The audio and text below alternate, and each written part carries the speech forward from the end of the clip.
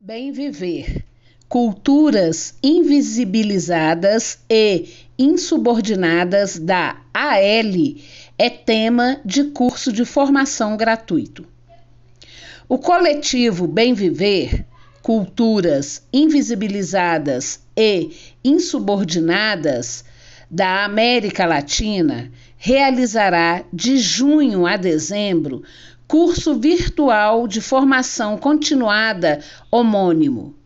A atividade abordará de forma transversal as questões do bem viver e direitos da natureza, aliadas a temas relativos a etnias, gênero, raça e sexualidade. Os debates serão realizados todas as terça-feiras, das 18h30 às 20h30, com aulas síncronas.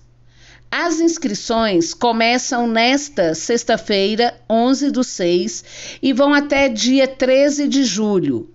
Para participar, Basta acessar o link e realizar o cadastro e seguir com a inscrição.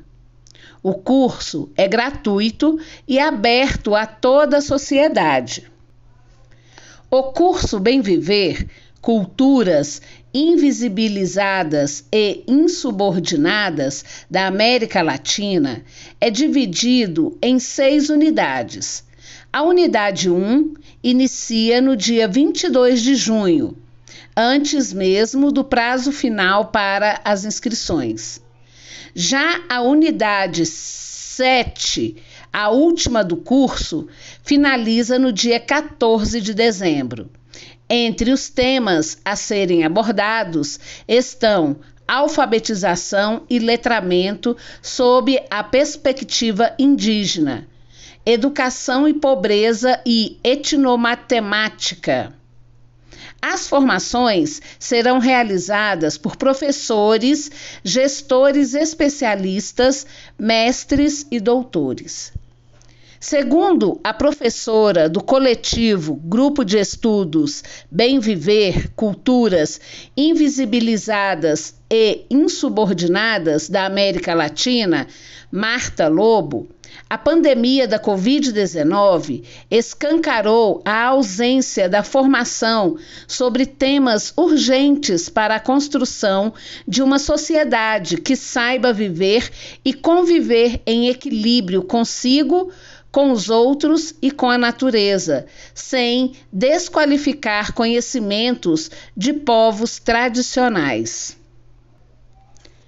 É flagrante a ausência de políticas públicas que tratem sobre o racismo, o machismo, a homofobia, o etnicismo, memoricídio e a gigantesca questão dos direitos da natureza, principalmente no atual governo federal percebemos que muitos profissionais de educação desconhecem essas temáticas. E a pandemia da Covid-19, somada às políticas do governo federal, de governos estaduais, do Distrito Federal e municipais, mostram a necessidade de formação dos profissionais da educação, inclusive como forma de se construir um futuro diferente, mais justo, equânime, afirma Marta Lobo. Segundo ela, a ideia original era ter como público-alvo professores e gestores, mas é essencial que a apropriação desses temas seja de toda a sociedade. Marta Lobo, que é professora substituta em regime de contrato temporário, mestre e doutora, explica que essa é uma versão reduzida do curso Bem Viver Culturas Invisibilizadas e Insubordinadas da América Latina. Isso porque há uma urgência de dar esse grito. Continuamos nos deparando com os mesmos graves problemas do ano passado diante da pandemia da Covid-19. E temos que, de uma vez por todas, mudar esse, esse cenário. Isso é urgente, explica.